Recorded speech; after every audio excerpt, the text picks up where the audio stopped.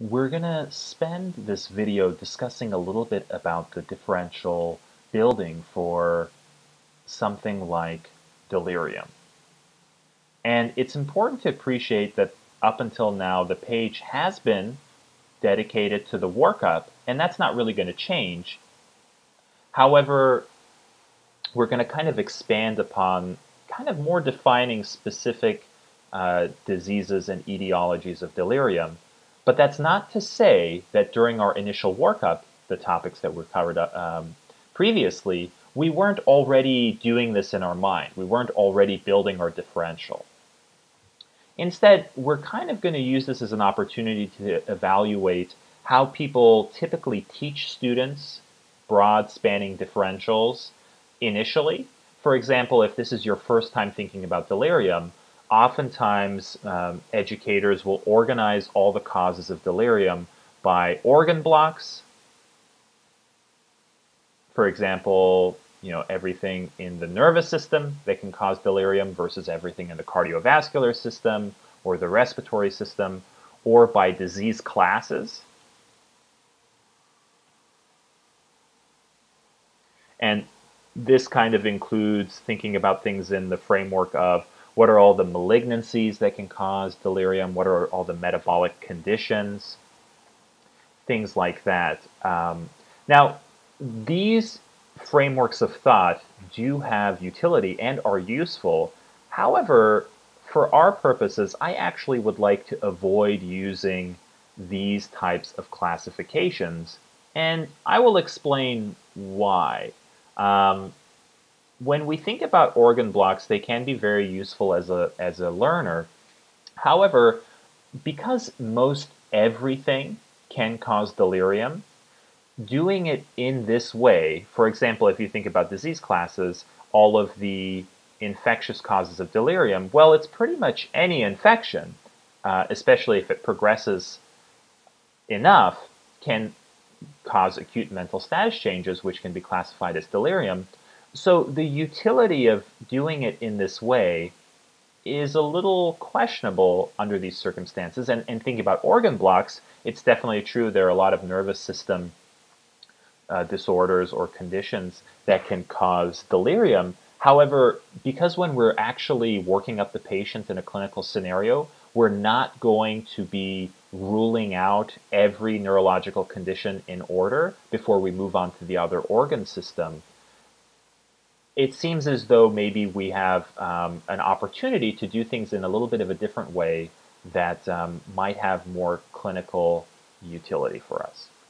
And the way I would like to approach this is that we have our patient with delirium, and now we're kind of introducing the broad differential. I would like for us to talk about it in terms of diagnostic modality. Now, this is a very broad term. It doesn't just mean something like a CT scan. It can even be a clinical diagnosis. But what I would like us to do is organize things by the nature of how they're actually diagnosed in, in a medical context. And this is a very odd way of doing it. This is very unusual. I haven't ever seen differentials organized in this way. However, I think that if you take a look at what I have organized below, you will see the value in doing it in this way. And it's not that you'll ignore organ blocks or disease classes.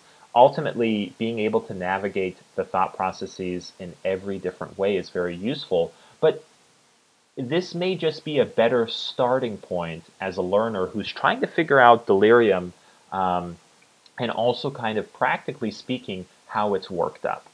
So what I have below is organized in a few different ways.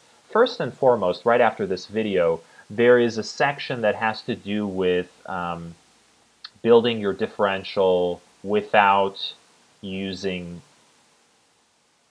clinical studies.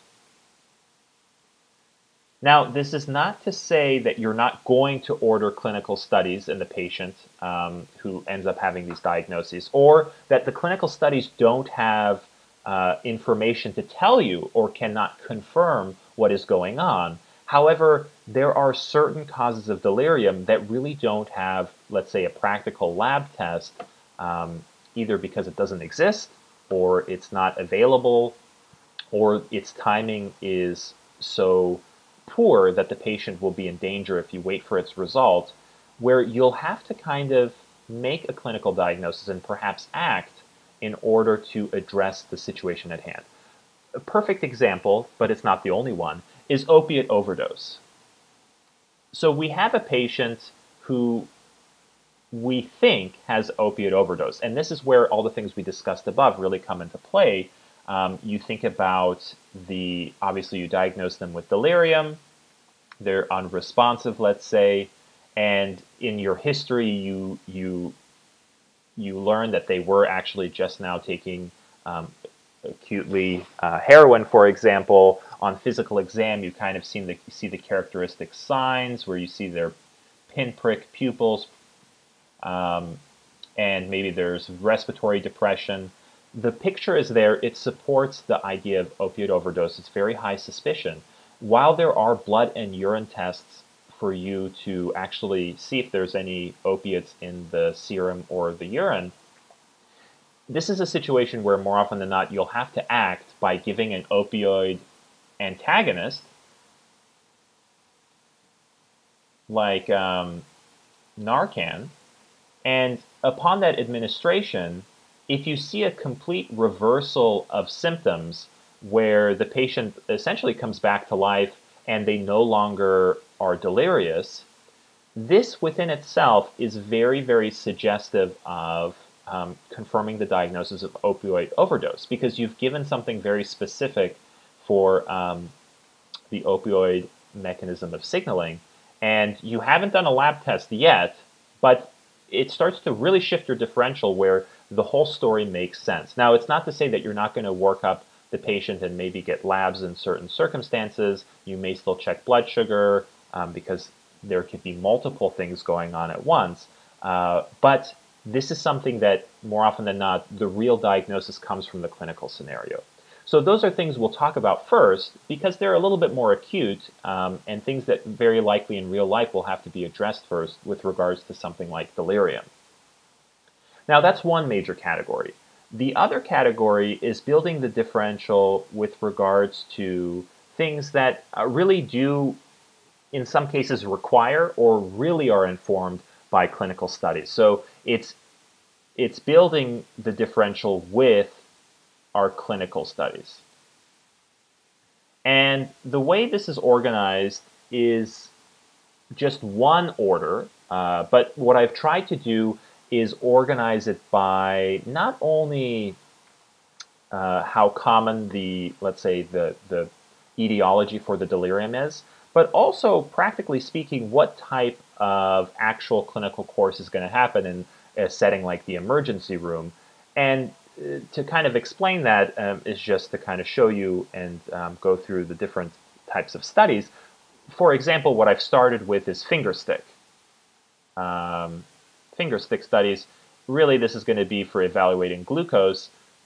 Is the glucose too high or too low? This both can cause delirium. It's not to say that glucose abnormalities are the number one cause of, um, of delirium in patients. However, this is probably one of the first studies that is going to be ordered uh, just because it's very accessible, very low risk, can be done while other things are happening, and can rule out something that can be a common cause of glucose, especially, um, sorry, common cause of delirium, especially in, in uh, patients with certain history factors. And it's something that is a little bit of low hanging fruit in the sense of there really isn't a reason not to do it um, in most clinical scenarios. So we start with foundational elements of the workup like that and explain our differential within those confines. So that's one, uh, finger stick studies. And then kind of in keeping with this order of things, another big class um, of studies that you're going to do that require the same type of sample are venous blood studies. Now, there are a lot of tests you can do on the venous blood. Everything I've listed is not necessarily something you're going to do as a batch at once, But within this, I've kind of organized it in terms of what's probably going to be ordered, like a BMP, a basic metabolic profile. Most everyone's probably going to get that, and a CBC, a complete um, blood count. These are just two examples, both from venous blood. Obviously, you want to order both together, so you only stick the patient once, you only have to access them once. Um, and you can kind of see all the different causes of delirium that can be diagnosed or suggested by these different studies. So, for example, within the BMP, we look at a lot of electrolytes. So, this is where we can diagnose electrolyte abnormalities, let's say like hyponatremia, which can, of course, be a cause of delirium. Now, this is an important point for us to discuss that when we are building our differential like this and we're learning it in this fashion, it's not to say that when you find hyponatremia in a patient, you stop the workup process. You you acknowledge it, you're mindful of it, you work to correct it when you start treating the patient, which um, should begin as soon as you can. However, it doesn't stop you from looking at the other electrolytes, looking at the CBC, ordering other tests, because patients can present with multiple possible causes of delirium. And ultimately, you have to be able to reverse the symptoms and the delirious presentation in order to be able to kind of stop working things up. And essentially at the end of the day you have to stabilize the patient uh, fix their issue before you stop. Um, it's not that you just identify it and then you work to fix it and you don't explore other options. So this is very very important because we don't want to anchor to just one possible diagnosis. Because a patient could have hyponatremia but they could also have other things. And maybe it wasn't the hyponatremia that was the cause of their delirium. Very hard to know until you fix it, and it either helps or does not help with the symptoms. Anyway, so that's one element where we kind of have things nested, um, and I've tried to put them in the best order that I've, I, I could. But again, your history and physical is going to kind of change the order in which you you um, will request venous blood studies and how you batch them together. Um, so that's just another example. And then it's not all blood that we're looking at. Other things like uh, lumbar puncture are lower on the list.